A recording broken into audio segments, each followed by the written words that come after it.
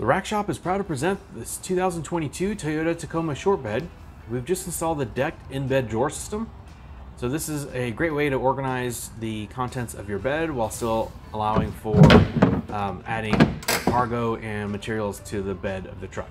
So towards the tailgate, you have a couple of cubbies that uh, allow for additional storage, but that's how you access the J-bolts to help hold this in place.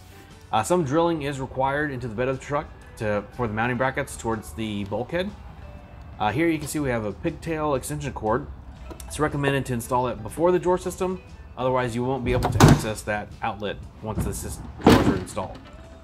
So you have a full-size drawer, mid-size drawer, bottle opener included as well.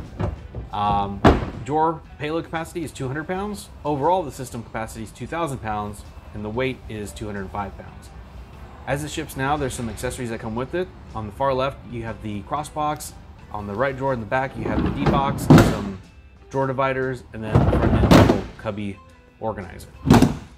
So this has been a quick walk around for this vehicle. For more details, pictures, or to purchase this complete system with a couple clicks, please click the link in the description below. And that's going to be it for this one. Like always, thanks for watching.